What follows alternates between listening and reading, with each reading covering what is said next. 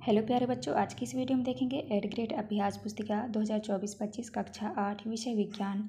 आज की वीडियो में देखने वाले हैं अध्याय आठ। अध्याय आठ में है बल तथा दाब। तो चलिए आगे की ओर बढ़ते हैं। यहाँ पे देख लीजिए इस तरह से।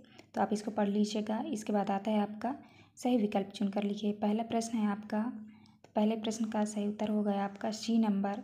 वायुमंडलीय दाब के कारण। इसके बाद आता है आपका प्रश्न क्रमांक दूसरा। तो यहाँ पर चित्र बना हुआ है। आप देख लीजिए।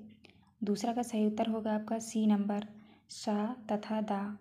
इसके बाद तीसरा है, तीसरे का उत्तर हो गया आपका पेशी बल। इसके बाद आता है आपका प्रश्न क्रमांक चार।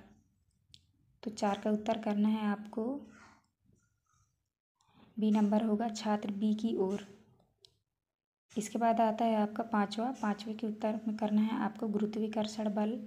इसके बाद आते हैं आपके खाली स्थान वाले प्रश्न। तो पहले में भरना है आपको परिणाम, दूसरे में भरना है आपको वायुमंडली, तीसरे में भरना है आपको असंपर्क।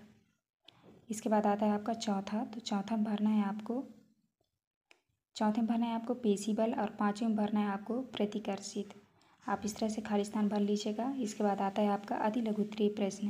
प्रश्न क्रमांक तीन का उत्तर करना है आपको गूथे हुए आटे को चपाती का आकार देना, मिट्टी को घड़े का आकार देना। इसके बाद है चौथा। तो चौथा का उत्तर करना है आपको। दाब वह बल है जो किसी पृष्ठ के प्रति इकाई क्षेत्रफल पर लगाया जाता है। नेक्स्ट आता है आपका पाँचवा। तो पाँचवें का आंसर करना है आपको। यह गुरुत्वाकर्षण बल का उदाहरण है। एक अन्य उदाहरण, एक अन्य उदाहरण है पेड़ से फल का गिरना। इसके बाद आता है आपका प्रश्न क्रमांक छः। छः का उत्तर करना है आपको। संदूक की गति बढ़ाने के लिए दूसरी लकड़ी दूसरी लकड़ी को भी उसे पूर्व दिशा में धकेलना चाहिए। इसके बाद नेक्स्ट आता है आपका प्रश्न क्रमांक सात। तो सात का उत्तर करना है आपको। सात के पहले का उत्तर होगा यह घर्षण बल के कारण हुआ।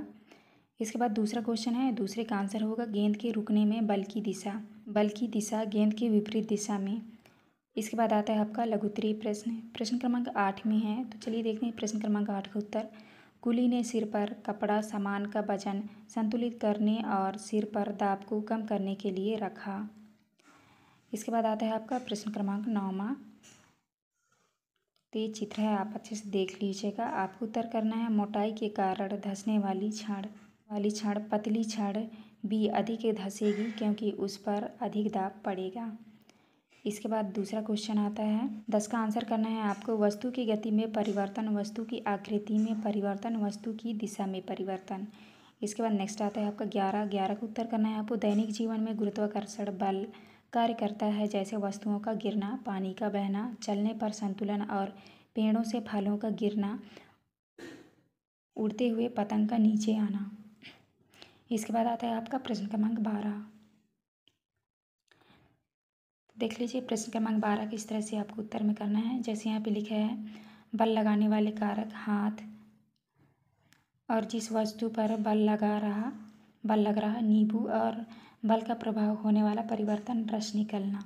तो यहाँ पे लिख दीजिएगा, हाथ, भार, हुक का खिंचाव, हाथ, आटा, आकृति में आकृति में परिवर्तन। तो आपको इस तरह भर लेना है।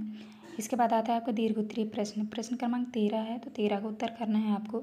चौड़ी पट्टी वज़न को अधिक क्षेत्रफल में फैलाकर दाब को कम करती है। इससे कंधों पर कम दाब पड़ता है। कम दाब पड़ता है और बोझ सहना आसान होता है।